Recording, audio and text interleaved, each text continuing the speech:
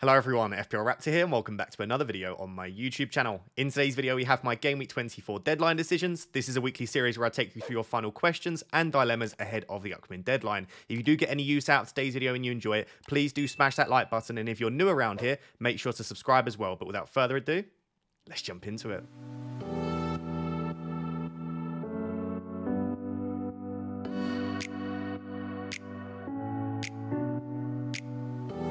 I think in general, being a content creator can be very difficult because trying to predict the future is very, very difficult, especially in football. It's traditionally a very difficult sport to predict, especially the Premier League this season. But I think Game Week 24 in particular, there are lots of difficult decisions because of the upcoming blanks and doubles, because everyone's team is different. And in a lot of positions, we are forcing good players out of our team for other good players due to trying to play the fixtures.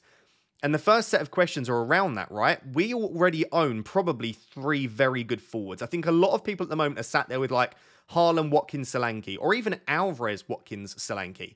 And Watkins and Solanke in particular are two excellent FPL assets. And you would have to say, all things considered, if the fixtures were equal, you could make an argument that both Watkins and Solanke are in the best front three in FPL.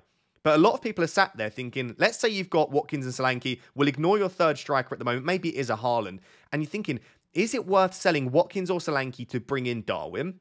If so, which of the two would you sell? And what about if it's for a hit? Because straight away, if you sell Watkins or Solanke for Darwin, yes, you're getting the double in 25 and a great fixture this week for Darwin. But remember, Darwin blanks in game week 26.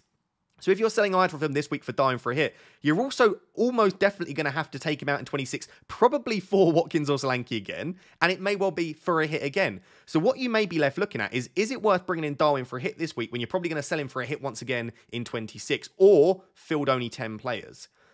It is very difficult, and I think Darwin is a very specific taste in FPL. Lots of people will like him because his data's good, he gets the chances, and there's a lot of chaos with him. He's got a very high ceiling. I still maintain, and I, to be honest, I've been saying this for 18 months now, but I still maintain one of these days Darwin is going to get like a 23 plus pointer. I, I, genuinely think there will be a game when he just goes ridiculously crazy because we've seen he can get five, six, seven big chances in a single game, which not many players in Premier League history can. So it is a very specific taste. It's very difficult to own Darwin because you can also get a red card, an own goal, a, a, missed penalty, as we've seen, hitting the woodwork four times. So the first thing is, and a lot of people won't even discuss this part, the emotional aspect of are you willing to own Darwin? Because it's not easy. If you are, and you are also someone that likes taking risks in FPL, and I'm going to refer to management style a lot throughout this video because it does depend what sort of manager you are. I would be willing, yes, to sell either Watkins or Solanke for a hit for Darwin. But that's due to the way that I play FPL. I like taking risks. I like players that get lots of chances, and I am chasing that incredibly high ceiling. I know Watkins has just delivered an 18 pointer, but I would have to say that Darwin has a much higher ceiling than both of these players because he gets that quantity of chances. So, yes, I would do it, but you need to think about your own management style. When it comes down to Watkins or Solanke, I think you can look at this two ways, right? You are going to want Solanke for double game week 28. And if you've missed the news, Bournemouth double, a very, very nice double, by the way, in game week 28. So you will want Solanke in 28. And we now have the news that Watkins will have a fixture in blank game week 29. So if we simplify it, you are going to want Solanke in 28 and Watkins in 29. So you're going to want both of these guys back. But if you are still willing to sell them for Darwin, I then think it comes down to before around game week 28, who do you see getting the most points? And for me, when you look at the fixtures and you also look at the way that these two players are playing, I think that the upside is there with Watkins, especially again, given the fixtures. I would also argue that potentially in game week 26, Watkins could be a captaincy shout, where obviously Solanke plays against Manchester City. So when I just look at the fixtures and also the possibility that you could maybe even captain Watkins in one of the upcoming weeks, I think I would rather own Watkins than Solanke. But yes, you are going to want Solanke back for 28, but you're also going to want Watkins back. So I don't think it's a position where you say now, I've seen a lot of people say, well, you can't sell Solanke now. Well, you can. You just have to bring him back in. And you're going to have to sell Darwin anyway. So I think if you're committing to bringing Darwin in, you're committing to selling him. And therefore, you can bring these two players back in. So I'm going to keep it relatively simple and say, in my personal opinion, with my management style, I would be happy selling Watkins and Solanke. I'd be tempted to do it for a hit still, and I would be more willing to sell Solanke than Watkins. But by all means, if you're more risk averse or you're just not convinced by Darwin, keep Watkins and Solanke. They are both brilliant assets and they could do very well. They could comfortably outscore Darwin because, yes, Darwin's got Burnley, Brentford, Luton, which have an incredibly high ceiling. However, is Darwin even going to start all three? Probably slash potentially not. He may well miss one of those games. And if so, you've got the same amount of fixtures with Watkins and Solanke, and also they don't blank in 26. So I definitely don't think it's a, it's a must, but for me, I would do it. The next question was around Alvarez. Is Alvarez a hold or a sell now based on what we currently know? I still think I would lean towards selling him simply because even though we've now seen that they can play all of their stars in one team with Foden on the left, Alvarez on the right, and De Bruyne, Haaland, and uh, Alvarez through the middle, right? We've seen that Alvarez can still play. You would still predict that his minutes will be a lot lower now, given that Haaland and De Bruyne are fit enough to play 90 minutes. I just can't see Alvarez getting a significant amount of minutes now. But will he still start games? Absolutely. Does he still have a double? Yes. And would you expect him to start one of the games in the double once again? Yes. But when you're looking at, I would predict if you're selling Alvarez, it's for either Darwin or Haaland. I would predict Darwin's minutes will be slightly better. I think his doubles better. I think his fixture this week is better. And I think his ceiling is higher. And with Haaland, he's just such a better asset than Alvarez, isn't he? So, yes, I would still be willing to sell Alvarez. But if you're in a position where you've got another striker that you're happy to sell, maybe a João Pedro sat in your team, or another player in there that you're not as convinced by, or you're happy to sell a Solanke, you could still hold on to Alvarez. So it's almost I wouldn't mind selling him, but I don't think you need to force him out.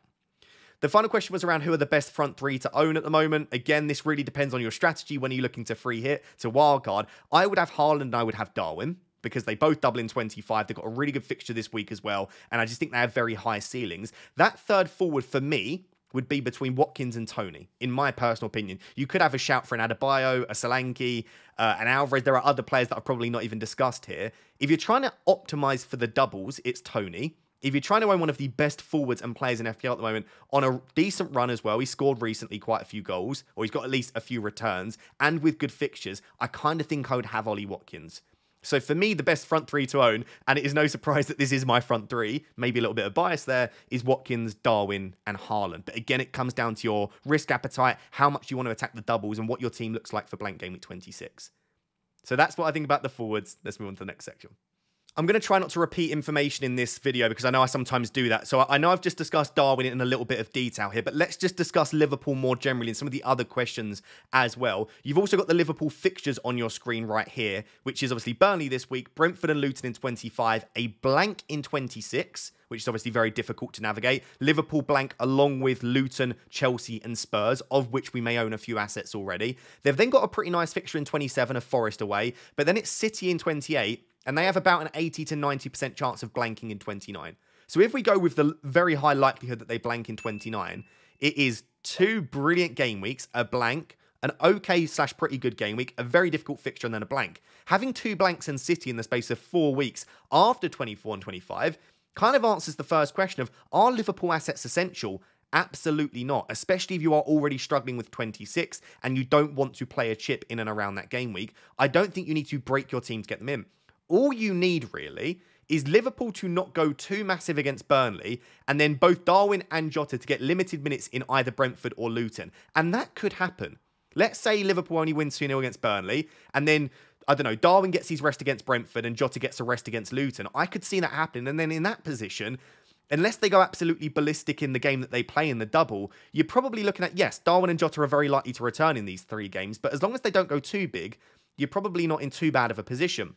And obviously, I say obviously, but sometimes we forget this. It's not just you don't own Darwin or Jota or the defenders that you're looking at, you own players instead of them. So not only do you just not need Darwin and Jota to go too mad, you also need the players that you have instead to just do something. If Ollie Watkins gets one goal and you decide not to do Darwin to Watkins, well, Darwin's got to get two goals to massively outscore him. So all you need is the likes of Darwin and Solanke to do very well, or if it's a Bowen in midfield that you may be not sure about moving to Jota, and then you're in a, you're laughing, you're in a very very good position. So no, Liverpool assets aren't essential, and even the defenders, I do think Van Dijk, Trent, Alisson could do very well, but. Apart from that Burnley at home fixture, Brentford away isn't great from a defensive perspective, especially now that Toney's back. And Luton have been scoring goals for fun at the moment. I mean, they scored four against Newcastle, they've scored three against Arsenal early in the season, so they can score goals. So I don't see I wouldn't say that it's obvious that there will be two or three clean sheets here, but could you see it? Of course you could. It really, again, depends on how much you want to bank on Liverpool doing very well in these three. The next question was if I want Jota, should I do it this week for a hit or next week for free? I kind of discussed bringing in Darwin for a hit. The reason that I am keen on doing it for a hit this week and rushing it forward into 24 and not waiting a week is I think the best fixture of the three is Burnley at home. And I feel like if you don't do it this week and you do it next week, yes, you still get the double, but there is a small chance slash reasonable chance that Darwin and or Jota miss one of Brentford and Luton. And the only fixture that I would feel relatively confident of one, Liverpool scoring lots of goals, and two, both Darwin and Jota starting, and to some extent even Trent, who I think is a bit of a doubt for the one of the games in the double, is that Burnley at home game. Because it looks like Salah's probably not going to be available, and they've had a, a very decent rest between their most recent game and the Burnley game. I would be extremely shocked if, if Darwin and Jota don't both start Burnley at home and get good minutes. The real worry for them is either the Brentford game or the Luton game because that comes a few days before their EFL Cup final. So yes, I would be happy to do Jota in for a hit and or Darwin in for a hit, and I would be much more willing to do it this week because I feel like that real banker fixture, and it always doesn't always play out like this. Like I said, Burnley could just turn up in this game, but the real banker fixture here for me is the Burnley game. So I almost feel like it doesn't make sense to wait a week for Liverpool assets. If I was bringing in a Liverpool asset, which I think I am, and we'll discuss my team at the end, I, I would do it this week in 24. I did an entire 10 minute section in the Game Week preview video around whether I prefer Jota or Darwin. The short answer, if you don't want all of the in depth stats, is I think they are both fantastic. I will probably own both of them for Game Week 24. The benefits that Jota has is I think he's a better finisher. He gets an extra point for a clean sheet and an extra point for a goal. But the benefits that Darwin has is that he has double the goal threat of Jota. He is getting double the XG that Jota has this season. And he's getting over double the amount of big chances that Jota is as well. So Darwin will get a much higher quantity of chances, and therefore, if Darwin takes them, I think Darwin blows Jota out of the water. I also think that Darwin's minutes are ever so slightly more secure than Jota's, but I think that's very close as well. So I think they're absolutely fine assets. I think Jota benefits from his clinicalness and the position that he's playing, but I think Darwin has the higher ceiling of the two. Hopefully that answers all of your questions around Liverpool. And just to note, again, I think Van Dijk and Alisson are great. I wouldn't be looking to bring in Trent now because whilst I think Trent plays Burnley, I think there is a good chance he misses that Luton at home game. And maybe if Conor Bradley's ready, then he may sit in for that game to allow Trent to play the final. I just think with the way that Bradley's been playing, I think he's an absolutely fine deputy for Trent. And I think we could see a little bit more rotation for Trent. So if I'm ranking the Liverpool assets, Darwin, Jota, Van Dijk, Alisson, Trent, something like that. So another team that rightly so are getting a lot of attention this week are Luton. And there were a few questions around Luton. They seem to be dividing opinions at the moment. I'd love to know down below what you think about Luton assets.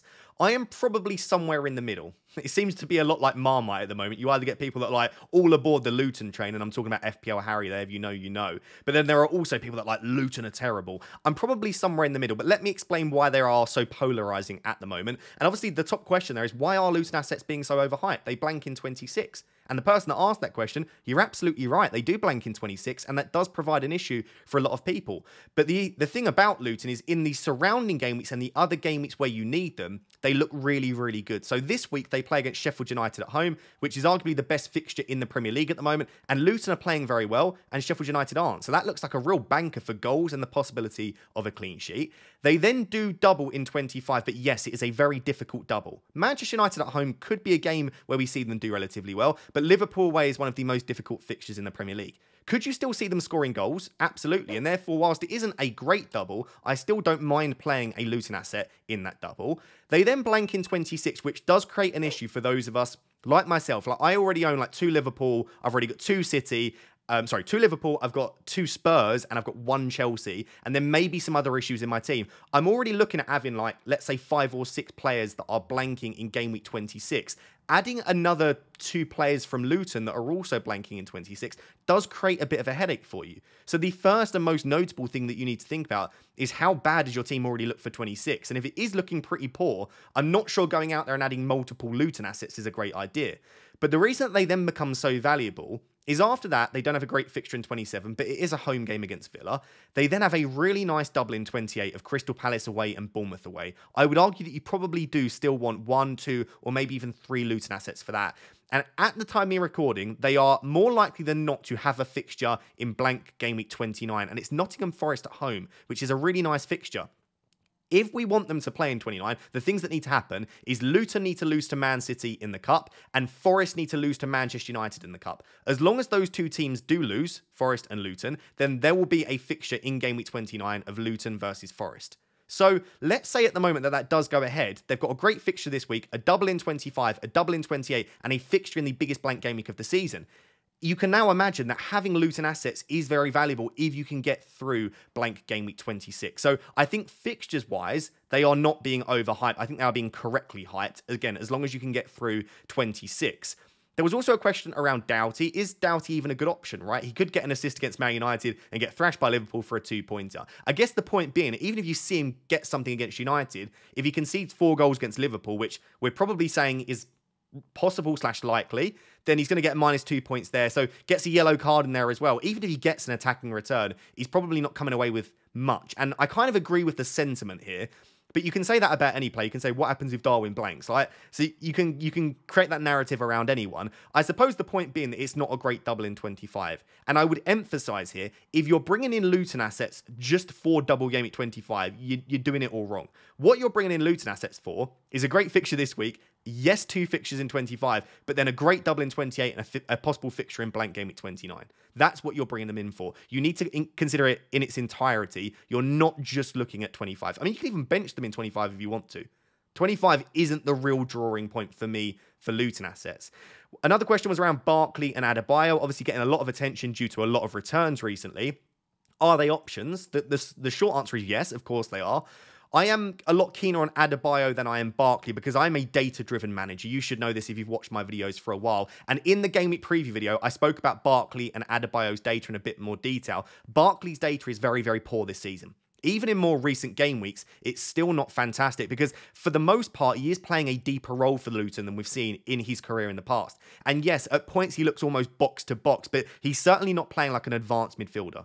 And therefore, I think whilst you could get returns over this spell, and you could definitely do a lot worse than Barkley, I would need the data to be a hell of a lot better. I would need to see him getting clear cut chances. He's been taking loads of shots recently, but he's actually not had any or many shots in the box in that time either. So I kind of feel like Barkley is fine. He's a real pun. And with the fixtures, I mean, Sheffield United at home, he could definitely get something. That that double in 28 looks really, really nice. And he's also not taken a valuable forward spot. Like I said, it's kind of flipped at the moment. The forward spots are very valuable. So yeah, Barkley's fine, but he's not for me. He's not my sort of pick. Adebayo actually has slightly better data. He's got really decent goal threat, and he's obviously very cheap too. So I, I prefer Adebayo, but of course he takes a very valuable forward spot. We've just spoken about all of the brilliant forwards that you can own: Toney, Watkins, Solanke, Haaland, Alvarez, Darwin. Where does Adebayo fit in? I think it's only if you're really struggling for money. So I'm going to leave it there for Luton assets. The fixtures are brilliant if you can deal with 26. I think Doughty, Barkley, Adebayo, and also Kaminski are really, really good options. Kaminski obviously gets around the issue of 26, assuming you can partner him with someone like an Areola, because then you still have a goalkeeper for 26. So Kaminski's probably the best pick on paper if we're looking at fixtures, but I think Doughty and Adebayo would be the other two I'd be looking at.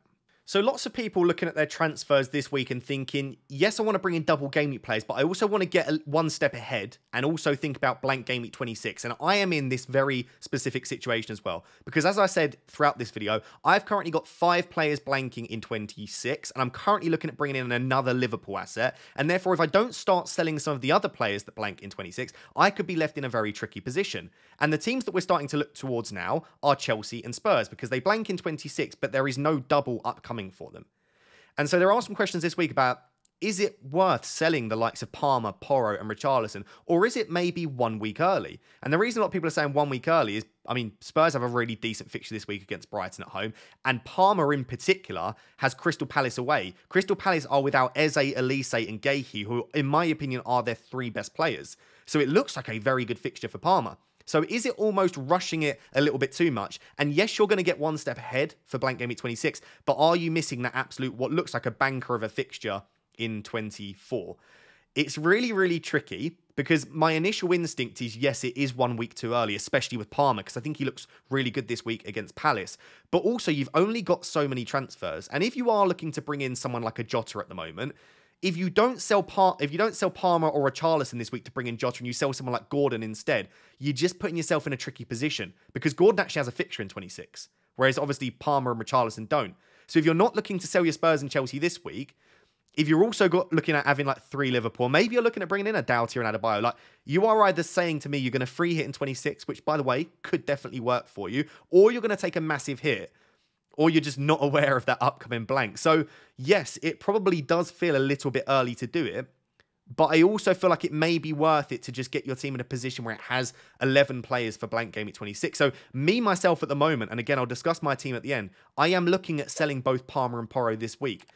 I feel like this again comes down to risk appetite. You are playing it very risky this week selling Palmer. It looks like a fixture that could be prime for a big return, but you're also going to get one transfer ahead. And if you value a transfer at four points, because it may well be a hit that you would have to take if not, I'm kind of looking at it and thinking, even if Palmer does return, I'm saving myself four points by removing him now rather than having to remove him in the future. The other thing on Palmer in particular, in comparison to Richarlison and Porro, is with Palmer, he not only blanks in 26, but he plays City in 25, and he also now is very likely to blank in 29. So it's almost a similar situation to Liverpool, where it's not only the sort of immediate game that you need to think about, but he's also got two blanks coming up and also a very difficult fixture against City. So I feel like with Palmer in particular, he is a player that I'm not only happy selling soon, but also I'm pretty happy not owning him until around game week 30 or 31. I don't feel like I need Palmer in my team for game weeks 25 to game week 29. That's my opinion. I'm not saying that he won't return, but I just think given the fixtures and the blanks, he's not a player that I feel the need to have in my team. With Porro and Richarlison, it's a little bit more difficult because yes, Spurs blank in 26, but in and around that, Spurs have very, very good fixtures. The next two fixtures are really nice for Spurs, both at home. I think it's Brighton and then Wolves. And after that, the fixtures are pretty good. And the other thing with Spurs is they definitely play in blank game week 29, and it's a fixture against Fulham. So I kind of feel, and then I think it's actually Luton in 30. So with Spurs, outside of 26, I think you really want to own Spurs players. I can see pretty much everyone having from 27 onwards a triple triple up on Spurs. Definitely for blank game week 29 and game week 30, I think most people will have three Spurs assets. So then you're thinking with Porro and specifically Richarlison, you're probably going to want them back if you do sell them. So with Richarlison in particular, I am less keen on selling him. Porro, it's kind of like he's very expensive and he's not keeping clean sheets. So I kind of feel a little bit better about selling Porro. But Richarlison, I'm very hesitant to sell, especially given how well he's playing at the moment. So I've not really answered the question there yet. I don't think it's a great idea selling the Spurs and Chelsea assets this week. But if you are in a tricky position for 26 and you do want to get one transfer ahead, which is kind of the position I'm in, and you also are looking at bringing in Liverpool and Luton assets, which again I'm looking to do, I don't think you can get away with holding Palmer and Porro and bringing in more assets that blank in 26 unless you're planning on playing the free hit. So the answer is yeah a little bit early, but I also think you're fine to do it as long as you accept the risk that you're taking by selling Palmer ahead of what looks like a very good fixture against Crystal Palace. So there was a question around captaincy and quite a few people wondering on captaincy for 24, but I really liked this question in particular. So I've just copied it word for word from Twitter or X, whatever you want to call it. And this person said, Everton are fourth best for expected goals conceded in away games this season. I have fact checked this on Fantasy Football Hub. It says fifth best, but very close to fourth. So let's say, for all intents and purposes, fourth or fifth best for expected goals conceded. And also, my girlfriend actually pointed this out to me the other day because I don't really look at home form and away form. It's probably somewhere where I'm lacking because some teams are much better away or much better at home. And Everton are really poor at home this season, but very good away from home. I do think that is in part the fixtures. I think they have had some more easy fixtures away, and a lot of their more difficult fixtures have been at home. That still being said, there is definitely a trend where they tend to be better away from home, maybe due to the way that they set up. If you're an Everton fan, let me know down below if you can see this with your own eyes as well. So they are a really good defence away from home. Haaland is obviously not back to full speed, and I think we can all agree that. I'm not saying he's been bad, but he's definitely not quite there. Are we being lazy by giving little thought elsewhere for captaincy? I don't think we're being lazy, is the, is the truth. I don't think it's laziness. I think it's a couple of things. I think this week in particular, we are all overstimulated and overloaded with decisions to make. There are so many things to think about. Game week 24 is a normal game week where we have the normal decisions to make, especially around benching decisions, and also captaincy comes into that as well, and normal transfers, right? That's already a lot to think about. But then you've got this double in 25, do you bring in Liverpool assets now or next week? Do you have enough City assets? Do you want Luton assets? You've then got a blank in 26. You've got to start thinking about chip strategy as well. There is a hell of a lot on our minds this week. I mean, my mind is racing constantly thinking about FPL.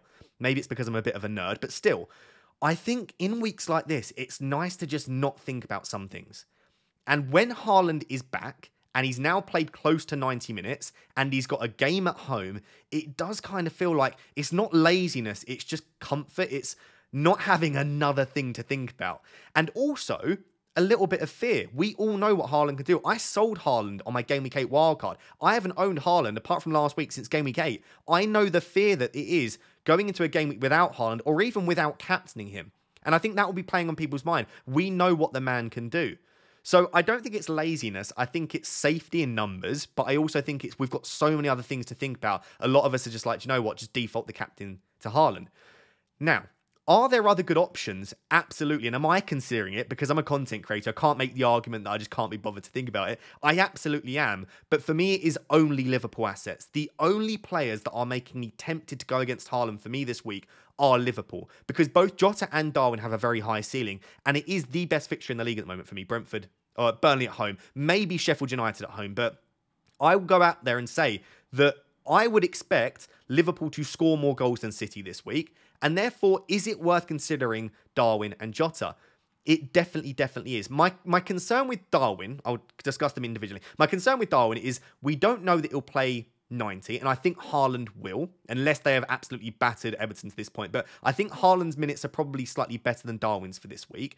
And Darwin is very inconsistent and difficult to predict right? So you are betting not only on his minutes, but you're betting on that he will turn up on the day and be the good version of Darwin.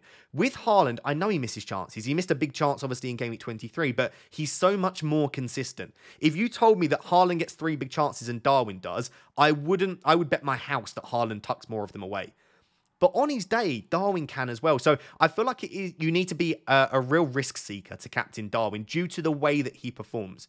With Jota, I feel like it is a bit safer. I almost feel like Jota could be a slightly better captaincy option this week because I think in this week, Jota and Darwin's minutes are very, very similar. Jota is, in my opinion, a better finisher. He does get the extra point for a goal, he does get the extra point for a clean sheet, and you would have to say a clean sheet is very possible against Burnley.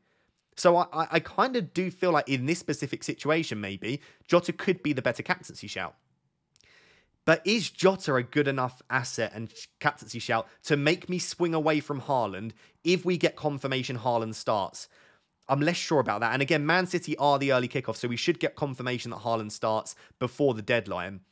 I just, I, I, I find it very difficult to back against Haaland when I own him. I've always said that I need significant evidence to back someone, not Haaland. If I own Haaland and he's got a home fixture, if it was Everton away, well, actually that's a bad example because Everton are better away from home. But if it was another team away from home, we know Haaland isn't as good away from home, and we saw that against Brentford. But Haaland is a bit of a beast at home.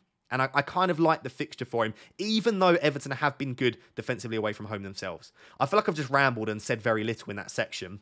Basically, I don't think I'm fully convinced, or at least convinced enough, by either Darwin or Jota to captain them instead of Haaland for me, Darwin's data and the amount of chances he gets would convince me enough, but he's so inconsistent. And I don't think Jota, based on what we've seen recently, gets enough big chances and a high enough quantity of good chances to make me back against Haaland. So I think my armband's still going to be on Haaland. I don't think we're being lazy by not considering others. I just don't think there is a standout enough option for a lot of us on top of everything else we're thinking about to go against him. But I would love to know is anyone considering captaining anyone outside of Haaland or maybe even the Liverpool assets? Are you considering someone crazy like an Adebayo or a Barkley? I would love to know down below in the comments. So there are a lot of people looking to wildcard this week because obviously it's, there's a lot of good fixtures this week. A lot of the teams that double in 25 have a good fixture this week, i.e. Luton, Liverpool and Man City all have home fixtures this week and good ones. We can also load up on enough players that can see us through blank game week 26 as well. And obviously, we have a bit of information around blank game week 29. So this is definitely a week that you can wildcard. I just prefer game week 27 because I don't think you can get a brilliant team for 25, 26, and 29 wildcarding this week simply because a lot of the players that you might want for 29 maybe aren't as ideal now. And we also don't have all of the information around Game Week 29. In fact, we won't get the information around definitely which teams blank in 29 until the midweek between 26 and 27. So for me, the best and earliest time to wildcard is probably 27. But let's say you just need it this week. Let's say you've not got enough Liverpool assets, you've only got one City, and your team's a bit of a mess. It's not a bad week to wildcard. This is roughly what I would go for. I'm not going to talk about it in too much detail, but I'd have triple Liverpool and I'd have triple City. I think you have to go into the next two weeks with triple up on both of those. So Virgil van Dijk, Jota, and Darwin for me is probably the best Liverpool triple up at the moment. And I think the best Man City triple up is Foden, De Bruyne, Haaland. I think I would go for triple City attack. So those six would be relatively locked in for me. If you want to differ slightly and go for a City defender, or if you want to go for Diaz rather than Van Dijk, that's absolutely fine, or maybe a Trent. So those six would be locked. I also think I would have Kaminski because I've spoken about the fact that as long as you can bench him in 26, which you can if you have Areola, I think he's a keeper worth having. And I'd also have Alfie Doughty as well. I just think given the fixture this week and given the fixtures around 26, as long as you don't need him in 26, I think he's a good player to have. So I would have those two Luton assets. The other things that I would be thinking about is game week 26 and game week 29. Those are the two blank game weeks that we're going to struggle with. I think Aston Villa have a very good fixture in 26 and a very good fixture in 29. So immediately there, I've got Pau Torres and I've got Ollie Watkins, and I would hold them through now from now until game week 29 at the very earliest. So I think 2 Villa is very, very nice. I've also got Emerson in there because he plays in 26 and he plays in 29. That could be any defender that plays in both weeks, but again, it's nice to have another defender that plays in both of the blank game weeks. I have Gabriel I know Gabriel probably doesn't play in game week 29, but the fixtures between now and 29 for Arsenal are pretty fine. And I just don't think there are that many good defenders that play in 29 at the moment. So I feel like Gabriel is absolutely fine to still own. And I don't think you want to fixate too much on 29. There are a lot of points to be had in the meantime. And I think having an Arsenal defender is probably a good idea. So that explains the defence. And then the only other positions is those two midfielders. At the moment, I've got Hwang and Richarlison. The reason I like Hwang is he's got Sheffield United at home in 26, and you need to have all of your players in blank game at 26. That could be a Neto, it could be any number of players, but Hwang does blank probably in 29. So he's not the perfect player to have, but again, there are points to be had in the meantime, and assuming that he is fit and available for 24, which I don't yet know at the time of me recording, I would like to have him. If not, you could replace him for Neto. You could even go for a Garnacho if you wanted to. I also have Richarlison in here. For a similar reason to what I've said, there are points to be had in the meantime. I like Richarlison for the next two, and I also think Richarlison is a very nice player to have after blank game week 26 as well. The keen-eyed people watching this will realise that I have quite a few people blanking in 26. So I currently have, I want to try and count them properly here, not including Kaminski because I can play Areola. I have Van Dijk, Jota, Darwin, Richarlison, and Doughty. So I've got five. If you wildcard this week, you should be able to roll the transfer in 25, which means going into game week 26, you'll have two free transfers. Therefore, assuming there are no massive injury issues to the rest of my team, if I have five blanking and I've got two free transfers, I can sell two of them, leaving three players that blank on the bench. So you can still field 11 players in blank game week 26. So that would be my rough plan. It would probably be I would keep Doughty, I'd keep Richarlison, and I would keep one of Jota or Darwin, and then I'd probably sell, like, let's say Darwin and Van Dijk. That's roughly what I would do in my wild card. You then obviously have Kaminski and Doughty for game week 28. And I think this team has something like five or six players already confirmed as having fixtures in 29. And obviously, you can add a few of those over the coming game week. So that's roughly what I'd go for on a wild card. Hopefully, that helps some of you that are on a wild card this week. And if you are wildcarding, let me know down below in the comments. So guys, in this final section, I thought I would just take you through my team and show you what my current plan is. And it has been updated since my team selection video slightly. And the reason for that, believe it or not, you wouldn't think it'd make a massive difference, is we've had news that Charlie Taylor could be available as early as game week 24, which means he should be available by the time blank game week 26 comes around. He plays against Crystal Palace in 26, and he's also got a fixture against Brentford in 29. So if Charlie Taylor's back and fit, no, I'm not expecting a lot from Burnley. But at the very least, he has a fixture. And if Olise and Eze are still out at that point, you never know what he could get against Crystal Palace. So, Charlie Taylor means that I have an extra player in 26, which means I can bring in an extra player that blanks in 26 and still field 11. So now, rather than looking at bringing in a City defender, I'm actually looking at bringing in Alfie Doughty. So my current plan as things stand, and again, I don't like losing Palmer this week at all. I think it's a good fixture, but I just want to get ahead and sort my team out in that way. So the, the plan at the moment is Palmer to, hello, Diogo. So Palmer to Jota, and obviously to a afford that, you can see I've got 0.3 in the bank, so I can't do that easily. I have to downgrade, probably Porro makes the most sense, because again, he blanks in 26. I could do um, Ake, I could do Gvardiol, who I actually really like the look of, because I think he looks relatively nailed at the moment. But Doughty has got such a good fixture this week. He's got double next week, and then obviously we've spoke about how good he is moving forward. And I can get away now with having him on the bench in 26, which we'll look at in a second. So my plan at the moment is actually to bring in Diogo Jota and Doughty. Great fixtures this week, double next week. So let me just make those transfers. And by the way, I'm using Fantasy Football Hub. If you want to trial it out, there is a link down below. You get a seven day free trial and 30% off if you use that link. So let me make those transfers. That would be for a minus four hit, by the way. I've only got one free transfer this week. Going through to 25, then, if I click the optimize button, this is the way the team would look, right? So I would have Doughty, Foden, Haaland, Darwin, Jota, and Trent. So six double game week players. And then I would have a benching headache between do I play Watkins, Gordon, or Richarlison, or bench one of those players there. At the moment, Fantasy Football Hub suggests Watkins. I'd have to think about that in a little bit more detail. I could, by the way, potentially, rather than triple captain in 25, I could bench boost. It would require me to take a hit in 26 that I wouldn't necessarily want to take, or a bigger hit. But if I did sell Taylor, it could be looking like a good bench, right? Areola against Forest, Watkins against Fulham, Pau against Fulham. Bring in another defender for Taylor, maybe even a double game week defender like an Ake or Gvardiol. It's starting to look like a very decent bench boost. But at the moment, the plan is triple captain Haaland in 25 and to roll the transfer. That would mean that going into 26, I would have two free transfers and 0.7 in the bank.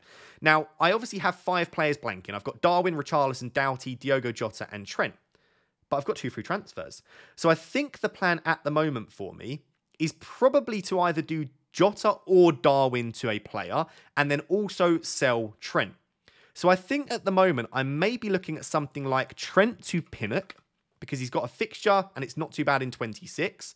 And he's also then got a very good fixture in 29 against uh, Burnley. So Pinnock him for Trent or something like that, and then selling one of Jota or Darwin. Let's say it's Jota. I actually quite like Bruno Fernandes. I know what people think about Bruno, but Fulham at home this week. And there you go.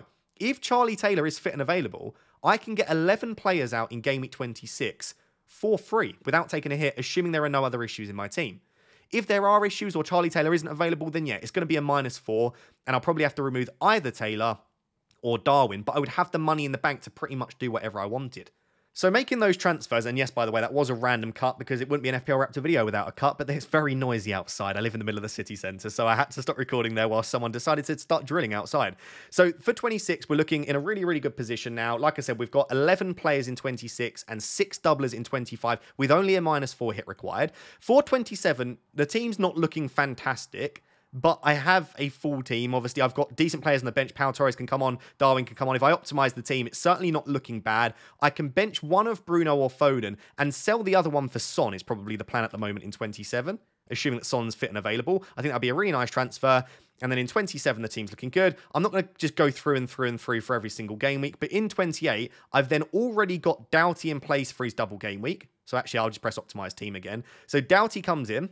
Um, no, go away. Doughty comes in for the double. I have a very, very decent team outside of that. I've got, obviously, I can do Darwin to Solanke in this week to get me a Bournemouth player. I can then also potentially do something like Haaland to Adebayo as well to give me another Luton player. You can see how the plan starts to come together. But 25 and 26 are definitely navigatable for me without a free hit and without taking many hits as well and without a wild card. So the plan for me is to just plod along. And also, my team's looking pretty good as things stand for blank game week 29. So I think I'm just going to keep making transfers, keep taking the odd hit. And I'm currently looking at wildcarding after blank game week 29 and also free hitting after blank game week 29 as well. So that's the way my team looks. Current plan, just to recap, in game week 24 is now to do Jota and Doughty in for Palmer and Porro, and I'll cry myself to sleep when Palmer hauls. So guys, there you have it. That is my deadline decisions video. Hopefully it has been helpful for you looking at what I think about some of your key dilemmas this week. And if you did get any use out of today's video, please do smash that like button. And if you're still watching and you're not yet subscribed, obviously please do click that subscribe button. It massively helps me. Until next time, which will be the deadline stream on Saturday morning. Thank you very much for watching. Cheers. Bye-bye.